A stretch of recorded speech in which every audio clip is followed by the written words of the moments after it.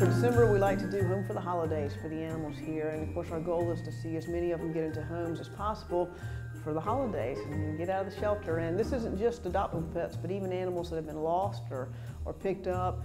It's still a $25 special for current owners to reclaim their pets, and then of course $25 for adoptions for all new owners because we just, uh, we actually, believe, believe, it or not, this December we're seeing a fair number of animals coming in. We usually start to slow down a little bit, but we're pretty covered up, so we really want to get some animals out into some, to some new homes. So $25, you can't beat that because the animal's already spayed and neutered, it's microchipped, it's vaccinated.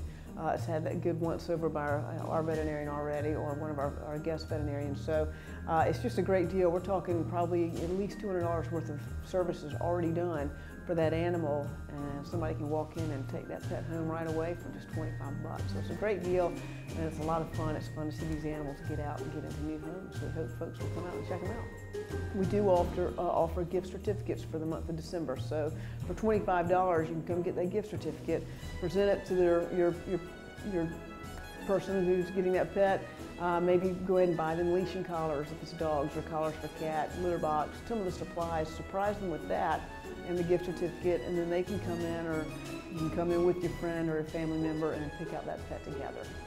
I always feel like when you come in and spend time with the animals, a lot of times that animal may just pick you. And that's a great way to get a feel for personalities and whatnot. So I always suggest people actually come down here and physically spend time with the animals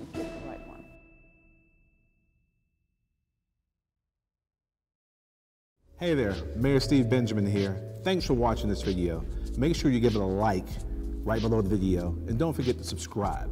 Also, while you're here, be sure to check out one of our other videos or follow on our social media platforms. Thanks again, and remember, we are Columbia.